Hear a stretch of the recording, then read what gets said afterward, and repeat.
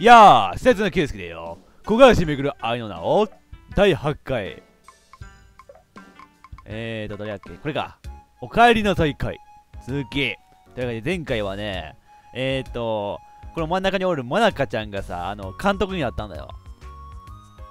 あの、何だっけ？舞台の、舞台、演劇の監督になって就任して、で、その後、まあ、主人公の春人くんが帰ってきたってことで、お帰りなさい会みたいな、歓迎会的なのをやっておりますっていう、そういう状態で終わった。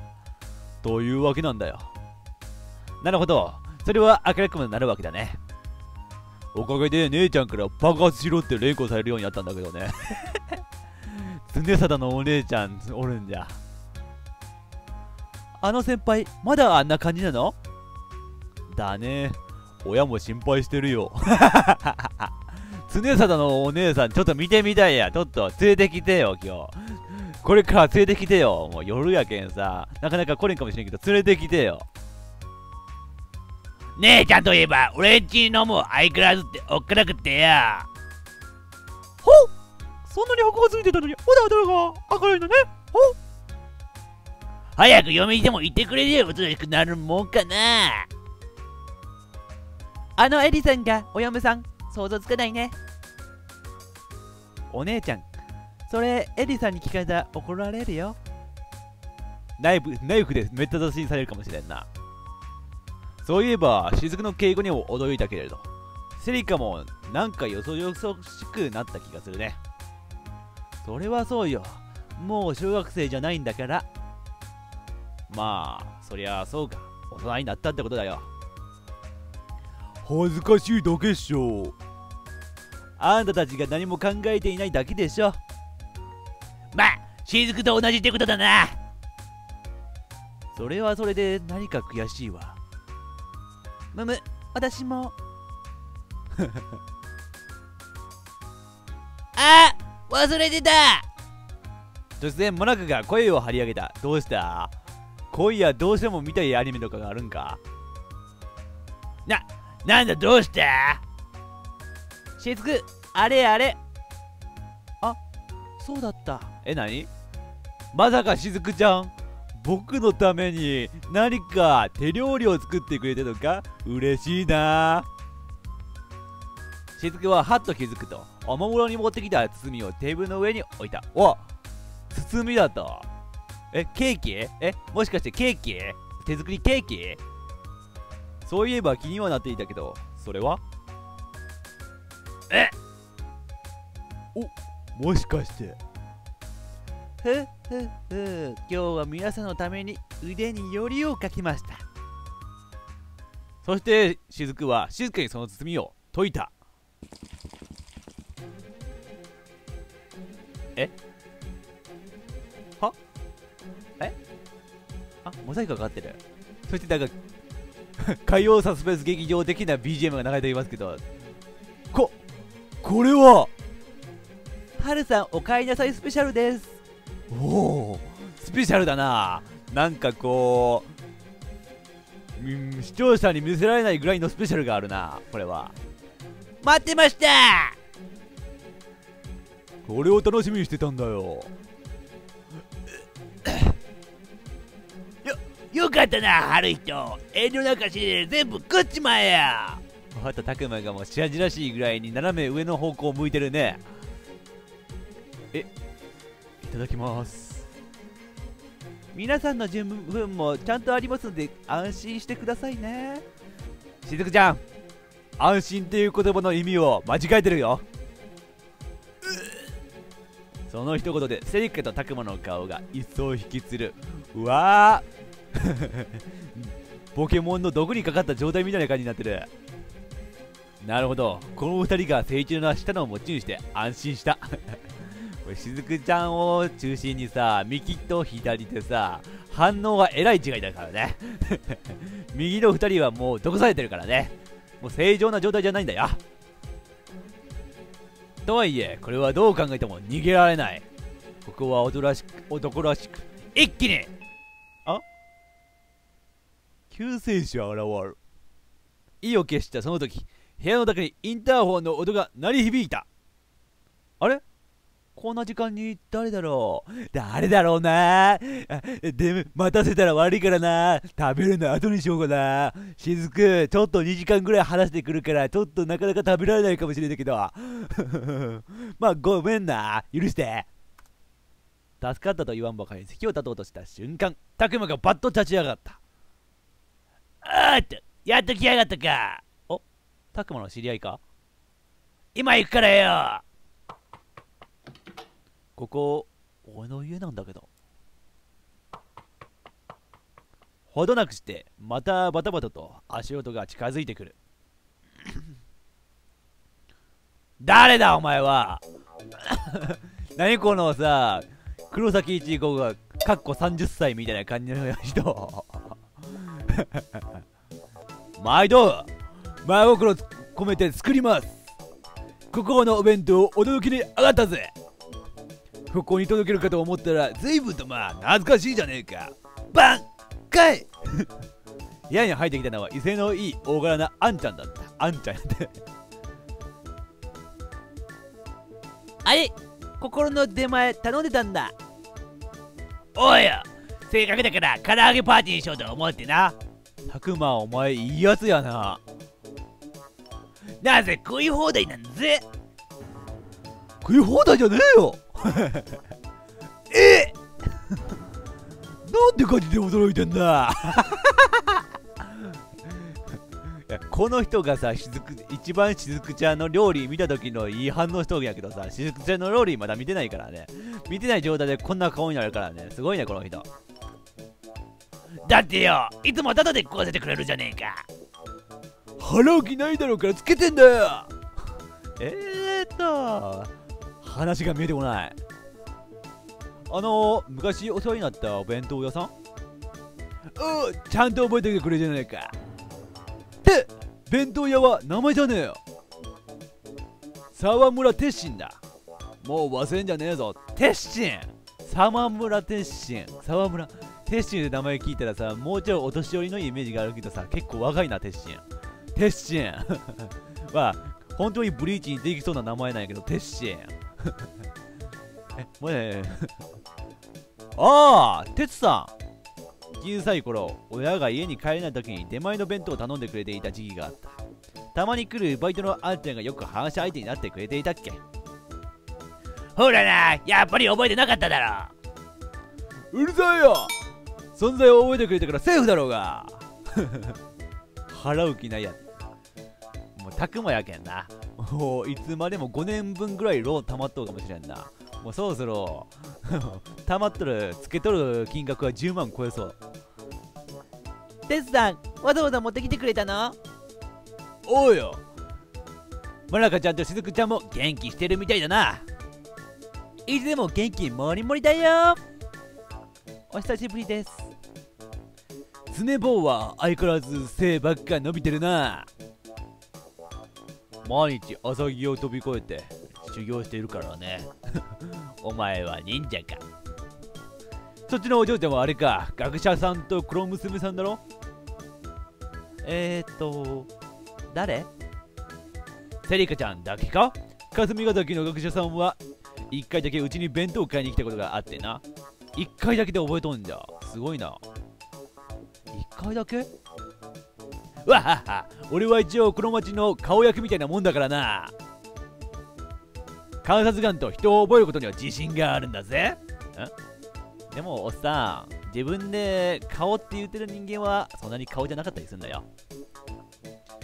テスシン自身はよく忘れてただけ忘れられてんだけどね。ぶり返すんじゃないよ。この髪の色で忘れられるんだからな。まあ、たくまの方がどっちかって派手だからなとにかく事情はたくまから聞いてるからよ。飯くらいならいつでも面倒見てやるから遊びに来いよな。ありがとうございますテスさん。あとバイトなんかやりませんからね。その後お近づきの印として雫のクラゲ料理を食べたテスさんは俺の家のトイレを1時間以上占領した。食わせたんじゃ。多分食った時もあんな紫の顔していたことでしょう。見てみたかった。多分この日を境に鉄さんのあだ名はトイレの鉄さんになりました。不名誉です。あは終わった。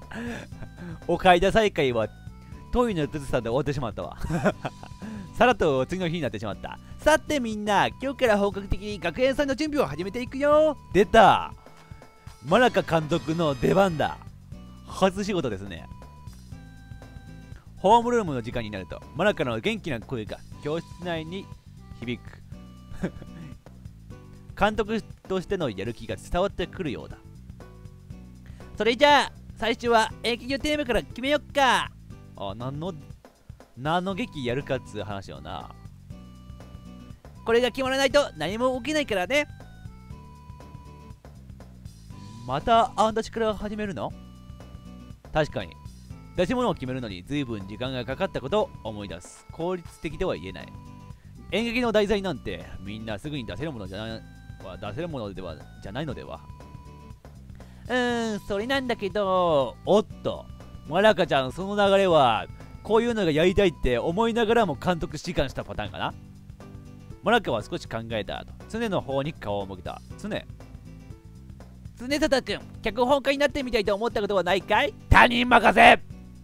おい村川監督他人任せだよそれは。監督。おえ一気にクラスがざめきざわめき始めた。なんだってこの常は12秒だからな。こんなんに脚本家脚本家で書かせたら後々どんな目で見られるかわからんぞ演じてる側としては。本人も意表をつかれて変な声で驚いている。どどうして俺なんだよ。まなか真面目に言ってる？酒井くんが考えるならその辺の草とかをテーマにした方がいいと思うけどバカにしすぎだ。セリカさんはそれはバカにしすぎだ。まあいいや。相変わらずひどい言われようだ。そんなことないよ。私よく知ってるんだよ。常貞は昔からずっと。あれ？なんだか悪い予感がするのは気のせいか？な、何よ？まさか！え？マラカちゃん、春人くんの家の壁だけじゃなくてさ、常貞の家の壁も穴開けて覗きよんじゃないだろうな、お前。え、だとしたらさ、常貞の家までさ、わざわざ覗き入り一挙ってことになるぞ、マラカちゃん。それはちょっとさすがに俺引くよ。可愛いけん許すけど。クラスに一瞬の沈黙が流れる。ずっと言ってたんだよ Y の夢は世界を創造する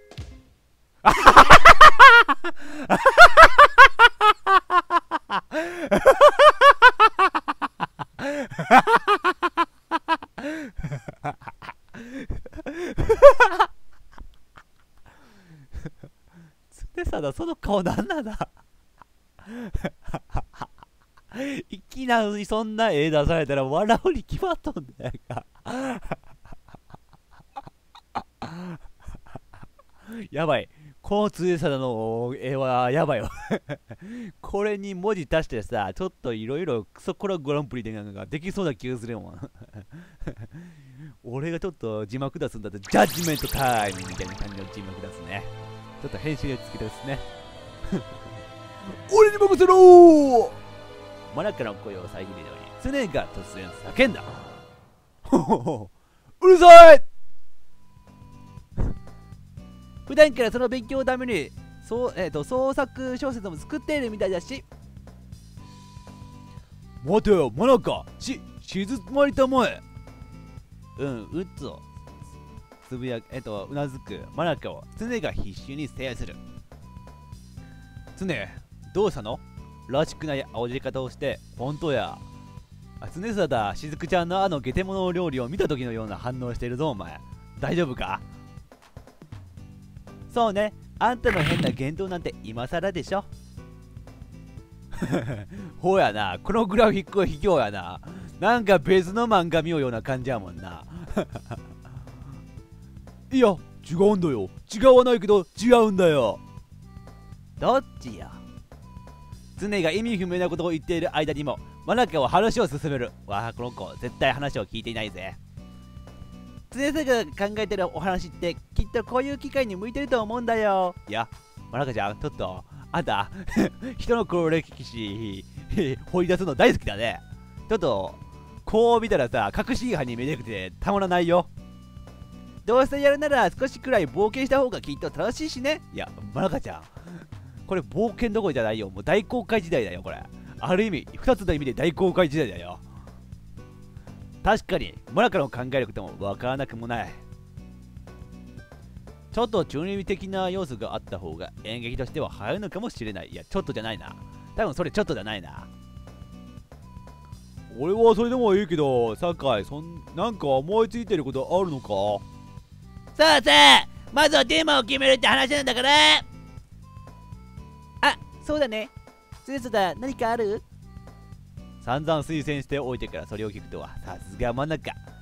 見事な無計画っぷり。でもそれが可愛い。杖だって今日のためでもないのにそう簡単に案が出るわけが。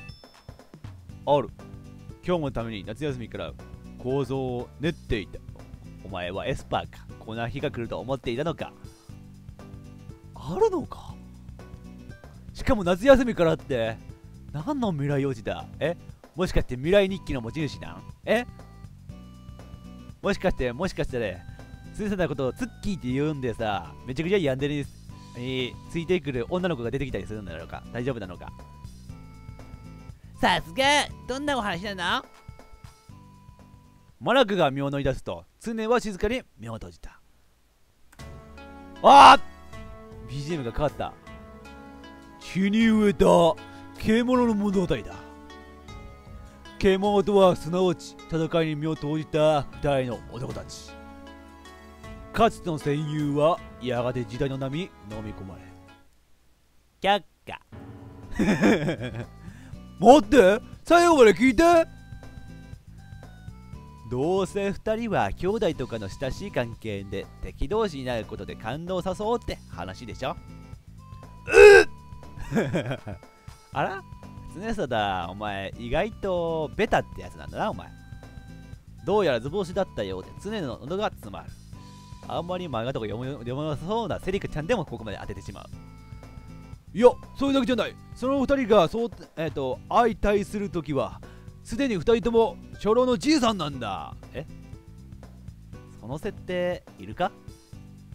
名付けて基準骨基準骨肉の調べあつねつだ無駄にそんな難しい漢に並べても人気出ないよ。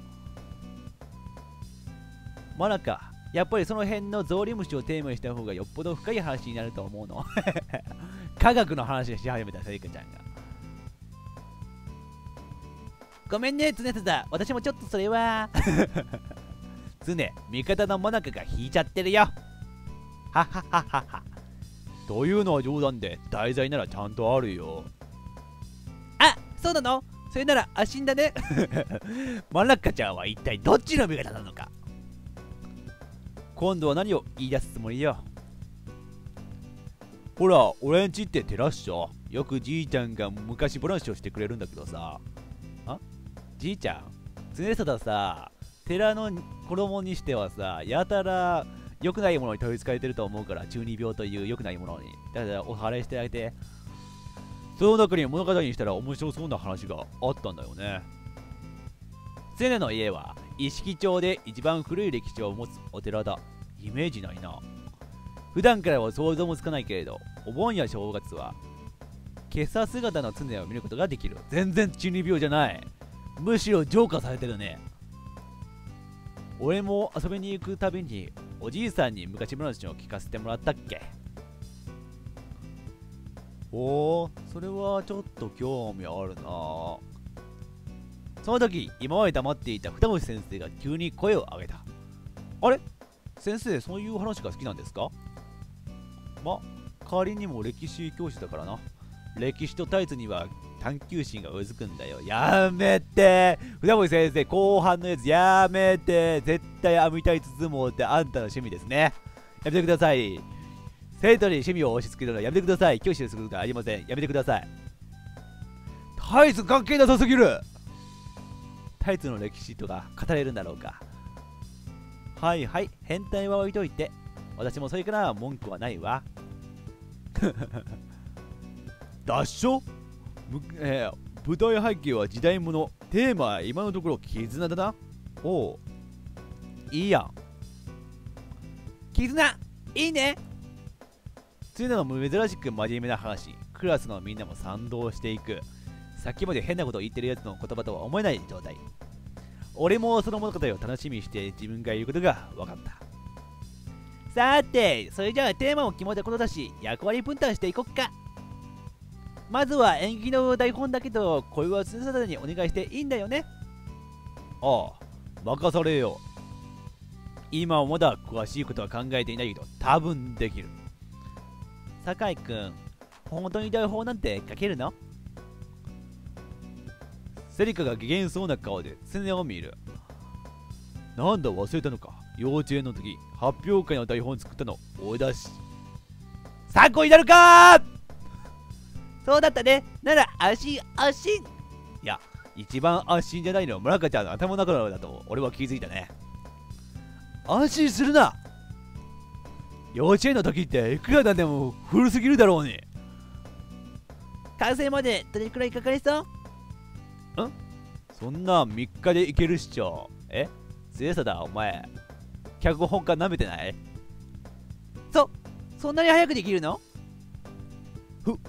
？Y の手にかかれば物語の一つや二つ生み出すことなど造作もないことだ。常が目を伏せながら誇らしげに手を組むさすが常草だ。じゃあ台本は常坂が担当言うということで村香が決定事項を黒板に記述していく。次は相性なんだけど。あ衣装を作るタイプの人間がおるんかな。ちょっと気になるところ。モブでちょっと作れる人が何人かでおったらいいところやけどな。できたらこれ私が指揮を取りたいんだけどダメかな。おっと。マラカ監督衣装にこだわるタイプだ。え？あええんじゃないの？マラカ裁縫は得意だし裁縫得意なんじゃ。えそうなんじゃ？あんまイメージじゃないな。ごめんな。でも監督やりながら衣装制作って負担も相当だと思うけど。セリカが心配そうに声をかける。大丈夫。もちろん一人でやろうなんて思ってないよ。先生の考えるお話を再現するのって大変だと思うから。甲冑が欲しいぜひ管理させてほしいんだけどどうかな？苦笑いでみんなに問いかけるマナカ杖のことだからこれからもとんでもない注文があるんだろうな。甲冑って。甲冑って。そんなん作ってるのプロでもそういないわ。私は賛成。マラカがリーダーなら制作もスムーズにいきそうだし。ありがとう。私の手縫いはミシンを超えるよ じゃあ今度からさモナカと呼ばずにミシンと呼ぶでいいかな？いやミシンは超えちゃダメだ。人として。あ春人は知らないんだね。私が5年で鍛えた腕よモナカが高速で手をワキワキさせる。何それ？もうすごく気味が悪いけど。するとクラスにどよめきが生まれた。で出るぞ。ハスビ。必殺のななんだ？マナカは手をワキワキしながらそのまま俺の方へ近づいてくる。そして一瞬制服に増えたかと思うとはいボタン取れかけてきたら取れかけてたから直しといたよ。出た必殺！なんてやもんこれ。なだとブリーチや。えブリーチの黒崎いちごみたいなキャラクターができたのかなと思っていきなりブリーチの言葉が出てきた。制服のボタンに目をやるとまるで新品のように綺麗に縫い付けられていた。それだけじゃない。その輝きすらもまるで新品のように。でこれ新品だよ！そっか。ハリト君転校してきたばっかだからこの制服2日ぐらいしか着れないわ。騙されかけていた。思わず突っ込むとクラスのため息が笑い声に変わる。あはバレちゃったね。すごい。まったく何をしてるんだか。その程度の動きも見切れないとは春も落ちたものだな。お前ほどではないわ。あんたは入学式当日にやられて他のクラスにまで広められちゃったじゃない。ふ過去にとらわれるのは退屈以外の何者でもない。おーい今は遊びの時間でもなければ転校生の歓迎会でもないからなダボイス先生に釘を支える。あはい。すいません。なんかこの先生に言われて悔しいのはなぜだろくっさマラカもそそくさと壇上に戻ると咳払いを一つする。ちょっと 話脱線し始めたね。マラカ監督抑えろ抑えろ。では気を取り直して。セリカ？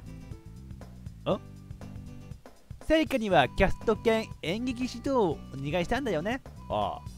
確かにセリカちゃん結構指導役としては申し分ない感じがするもんな。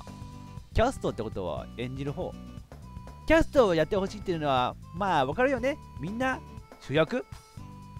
セリカちゃんが主役か。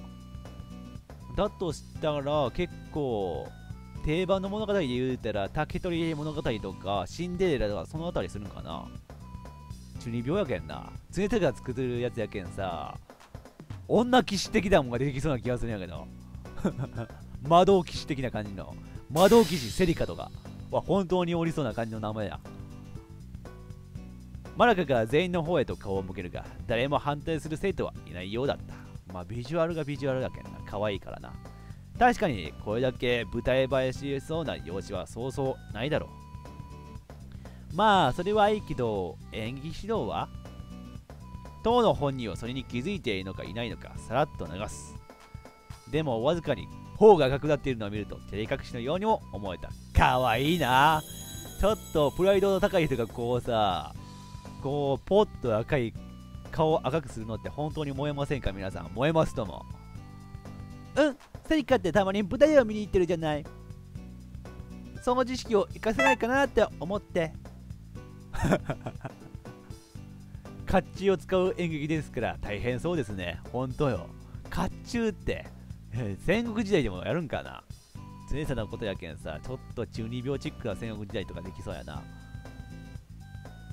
えええ構わないけど実際に演じてるわけじゃないから。私が教えられるのは今まで見てきたことを伝えるだけよ。それでもいい？うん。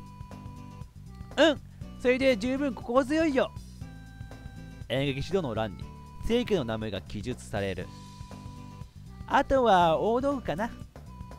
春人大道具のリーダーやってみない？え？俺が？なんかパシリっぽくて嫌なんですけど。大道具ってさ一番人手が必要なところなんだよ。春人を転校してきたばっかりだからみんなと話せるいい機会になると思うんだ。うわもなかちゃんめっちゃ気使ってくれてるやん。でもさ大道具ってなんかパシリっぽいじゃん？嫌だな。そう言われると確かにそうだな。でもよく考えてみた。大道具大道具ってなんかパシリっぽいな。嫌だな。マラカの言葉に納得させられる。わかった。やってみるよ。でも大道具役ってなんかパシリっぽいな。嫌だな。っていう考えは捨てきれていない。うん。よろしくね。俺の名前が黒板に書かれていくなんとなくもうこのクロノスの一員なんだということを実感できて嬉しかった。残りは美術と音響だね。美術なら美術なら私に任せてくれていいですよ。おさすが美術部部長頼りにしてます。音響って劇中の BGM ってことか。そうだね。ここで言う音響は曲作りとか曲選びの方だね。そんなら俺が部活の連中に声かけてみるよ。全部自作するわけにもいかないから他の部分は手伝ってほしいけど。ありがとう。ぜひお願いさせて。クラス内の美術と美術部と軽音部らしい生徒が名乗りを上げてくる。なんかうちのクラスのさ生徒ってさ変な声の人が多いけど気のせいかな。よしこれで大枠の担当者は決まったかな？じゃあここみんなこの中からやりたいことを選んで全員の配置を決めていこうね。よしこれで全員の役割が決まったね。よっしゃ役割決まったところで今回の生放送終わりにしようか。えーとセーブセーブセーブ。セーブです。よっしゃこっから文化祭がスタートするわけですよ。準備文化祭はもう準備からスタートですからね。もう準備期間が一番正しいと言っても過言でもないっていう話はみんなよく定番で言うけどね。もうその状態だからねまあ ちょっと行き当たりまったりなところもありながらさマナカ監督意外と結構ちゃんとしとるところもある。それがちょっとちゃんとしながらもふざけていられる。これがこのゲームのいいところだと俺は思った。俺もそういうネタ勢になりたい。真面目な時は真面目。ふざける時はふざける。それが一番のネタ勢の姿と俺は思っております。というわけで今回はこの辺でご視聴ありがとうございました。週上げ。